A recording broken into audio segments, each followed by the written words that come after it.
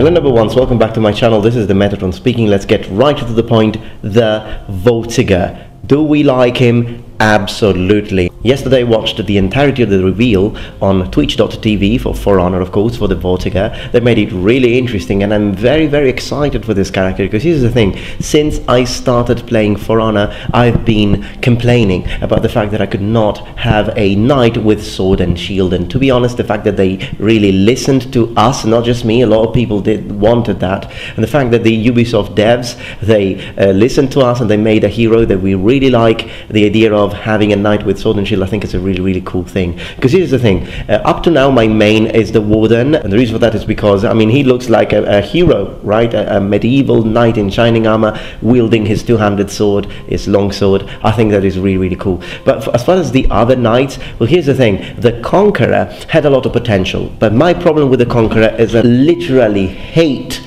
this weapon, the flail. I hate it. I just don't like it, and we will see why in a minute. I'll get back on that because this flail looks a lot like the flail he's using, which has a lot of flaws, and we'll get to it in a moment. Me, I'm the sword kind of guy. This is a my arming sword and I've got a basically a version, a LARP version and a wooden version as well, which I'm going to show you uh, on this video. This is an arming sword and it's similar to the overall concept, we could say, of the sword wielded by the Vortiger, although his version is a little bit closer to the LARP version that I've got here. And we'll see why in the section of this video where we will talk about the weapon, shield, and of course the armor the Vortiger has. But as I was saying, as a fan of the Knight uh, faction, uh, as far as the other Knights were concerned, as I said, I cannot get into the Conqueror because of his weapon. Although, as my personal taste, I always prefer Sword and Shield. In every video game, whether it be Dragon Age Origins or whether it be Skyrim, I always use Sword and Shield. It's my favorite combo, it's epic, I like it. I like the balance of defense and offense that you have with Sword and Shield combination pretty much in every video game and in reality as well. As you know, I also do several martial arts and I fight. I've got a sword study group and we fight. I'm a sword guy, so give me sword and shield. And I'm very happy uh, that finally they did. So Vortiger, the already the weapon combination, big thumbs up. Now, one of the things that some people were criticizing when we were asking in the Ubisoft forums uh, to have a knight with sword and shield is the fact that already many characters were wielding a shield. Of course, you've got uh, the, the most obvious one being the Viking um, warlord, who's using a Viking round shield and a Viking sword, and of course, the uh, conqueror himself that we have mentioned, and he's using a heater shield. And then you also have uh, the gladiator and the Valkyrie, who are using smaller shields. So a lot of people were complaining, saying if they make a knight with and Shield is going to look is going to fight in this in the exact same way as these other guys, and there isn't going to be enough variation in the game. The reason why that makes absolutely no sense from both a realistic point of view and the For Honor universe fantasy point of view is because these shields are very different. So if you give the exact same shield to two characters, then I'm with you. Okay, I understand you're right. But if you give different shields, then yes, they are all shields, but they are very different. I mean, the way a Roman scutum is used, one of the reasons why I'm still pissed off with the fact that the Roman uh, centurion does not have a shield. I mean, it it really drives me nuts because the gladius as a weapon is a weapon optimized to use together with the shield. If you don't have a shield, you should use a longer weapon to at least have the reach advantage because the shield allows you to get in closer. A massive shield like the Scutum centered grip Viking shield is completely different from a from the way a heater shield is used and the way a heater shield is gripped. And therefore the sort of techniques that you can do, the sort of techniques that you can implement, the way you move it, the way you use it offensively and defensively are completely different. It's like say, saying that you know characters using wielding shields uh, they're all going to have the same mechanics. It's like saying character using weapons all have the same mechanics because when you have a buckler and a, a, scutum, they are as diverse in the way they are used as a dagger and a great sword. So already the variation was not a problem and I'm glad that the devs understood that. So what sort of shield did they give to the Vortiger? The kite shield. Now, um, is it historically accurate? No. But it, particularly the, the further on you go, uh, you know, the, the, the, higher the tier, the, the more fantasy it becomes. Is that a problem? Absolutely not. But in terms of, because it's a fantasy world in a fantasy fantasy um, realm in a fantasy setting. So it doesn't matter. But it's interesting what is actually wrong and what is right? Well, the first thing is that in the majority of cases, when we talk about medium to big shields, they were made of wood. And some shields had a rim around it,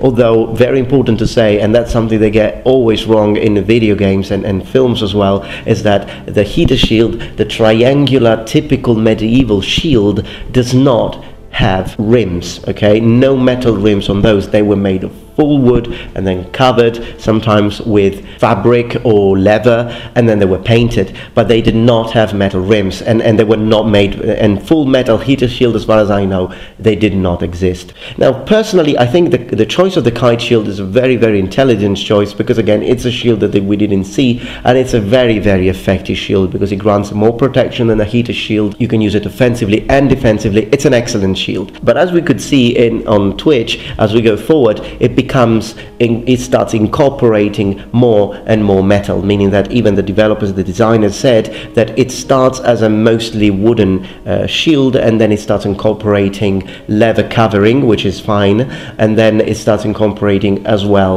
uh, more and more metal. Now whether this metal is a plating or whether it's actual solid metal in both situations the shield would become would be very very heavy. In fact probably too heavy to be wielded wielded. Maybe with metal plated shield it could still be wielded, but a full solid metal kite shield uh, this thick uh, absolutely not. It would weigh too much. But again in in the fantasy situation I have no problems with it because at the end of the day these guys are heroes. One of these guys the heroes that we're using for honor can easily destroy an entire battalion of minions. So of course they're basically demigods. So it doesn't really matter. Give him whatever you want. I think it looks really cool. Now we're going to talk about the weapon and then we're going to move on the overall concept art and what and, and whether we like it or not and what modifications we would suggest.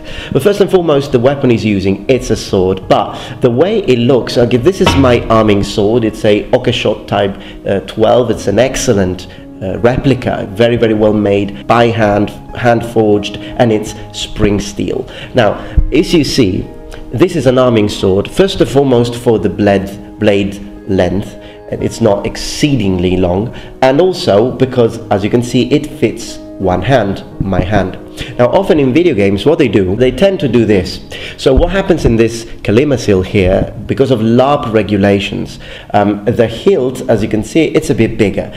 Does this ever happen in medieval times? Of course, you've got long swords that have, uh, you know, hilts that are a lot longer than this as well, and you've got bastard swords, which are one and a half swords, if you will. So swords that you can wield both one-handed and two-handed. Now that would be okay, but as you can see, the blade is too short, particularly if compared to the arming sword. So for this hilt, this blade is too short. Instead, they got this is an excellent uh, replica. It looks almost exactly like the metal one that I have. Of course, the pommel is missing because I had to finish to end someone rightly with it. But apart from it, it's a very, very good, and also pretty well balanced weapon. So what he's using, is it a long sword? Um, to me looks more like a bastard sword. Um, it's not an arming sword, I don't think. And personally I very much like arming swords, so I wouldn't been I would have been happier with that. But interestingly enough, again, there is a lot of variation, so I wouldn't be surprised if the hilt length varies because we see that it does vary with other uh, warriors and other heroes in the game. There is a lot of variation. Of course, we're just talking about the basic starting set. I would be happier if they made less bulky um, blades and with a more intelligently designed um, distal taper. Um, so the blade getting thinner and thinner as we get towards the tip. Often in games they, they just they don't get the geometry right. Also we see that some of the possible variations of the advanced sort of um, equipment that we get is a flamberge. So the sort of um, serpentine looking blade. Those are historical. I'm really happy that they added those excellent cutters, and probably one of the best cutters you can get in uh, as far as swords are concerned. The only thing is that that sort of sword, the reason why they weren't that common is because it would be extremely difficult to produce and therefore very exceedingly expensive. Now, in this case, the fact that the Vortiger can have one of these very complex and expensive blades makes sense because he's the leader of a cult, so he's probably super rich and and and he, is also he was a noble knight and then sort of embraces darkness. Again, another feature that I really like about this character. It is a very gloomy, um, bleak character. Um, still be, belonging, still, still fighting for the knight by using anything he can. He doesn't really care much about you know nobility and honor. And again, in a game called For Honor, it's kind of strange. No one really cares about honor, anyways, in this game. So, um, anyways, it fits. It fits. So, um, talking about the overall concept art and the overall look of the character, one thing that I don't like is the fact that I don't see. Um, I, I see too much leather um, in the basic torso protection. I would have been happier to see plate like a cuirass um, or even mail, to be honest, um, or, or, a coat of plates. Like well, coat of plates we see it already be worn by the conquerors. I understand, but maybe like a nice breastplate, um, thin waisted. I think it would have looked really cool. We know that he uses plate because he's got both arms and legs with full plate, and some variation he's got mail. Um, some variation is you can see some skin. Of course, it depends again. Um, but I would have been happier with a bit more metal on the torso. But as far as the overall look is concerned, he looks like a, a, a pretty cool knight. Um, the only thing is that, as you can see, when you start with the character, it looks a lot like a, an in-between between an you know Assassin's Creed and a knight because of the of the hood that he's wearing on top of his head. Now, um, that's fine because it, it sort of gives him that characteristic Ubisoft look. We know angels in Ubisoft in games like Heroes of Might and Magic do have this design. So you've got the hood and the full plate armor, um, which is cool. Um, and also it gives him more of a darker, the fact look, you can't really see him, he's mysterious and he's got all the makeup on his eyes. So I think it fits, but I'm happy that they also chose to let us wear a helmet if we decide to. And I think that that is really cool. Uh, that, may, that, that is very intelligent as well. And not many developers in our day and age do that. The fact that you gotta be, make as many people as you can happy. And in a game that allows you to have a lot of customization, it's great that yes, you want to have the character to give the character a mysterious look, but if I want him to look more like a knight, then I'm glad that you made me happy as well. And some helmets look more historical, other helmets they make him look like a disciple of Khorne from Warhammer, like a Chaos Warrior, and I think that is really cool. In fact, the the knight, um, this this uh, Vortiger, from when he starts, it looks more like an, an, in between an assassin and a knight, but then he becomes closer and closer to an actual Chaos Warrior, and in some, which I think is amazing, with lots of horns and, and, and demonic-looking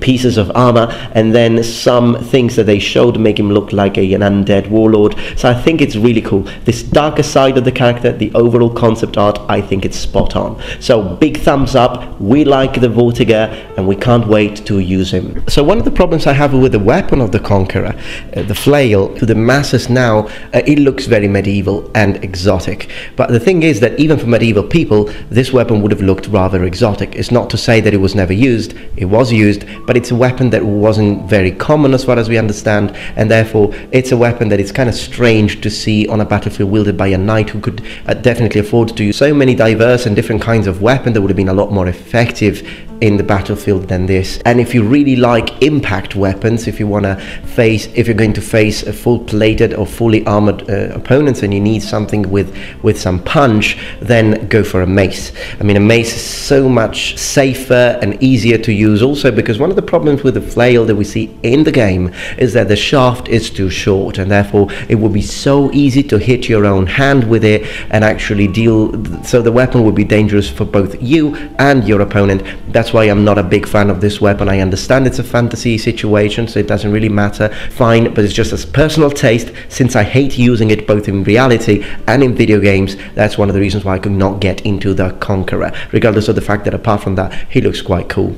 Now talking about using the Vortiger, I'm going to make another video on the Vortiger after he is out, after I play a little bit with him, after I see the, the moves. I'm going to talk about how realistic and how uh, plausible his fighting style is from a historical point of view. And we're going to try the actual moves with my friends. We're going to use Sword and Shield and we're going to try and mimic the, the, the, the transition between moves to see if they're actually doable, if it's possible to fight like a Vortiger. So stay tuned on the Metatron channel if you're interested. And remember, the Metatron has spread his wings. Goodbye.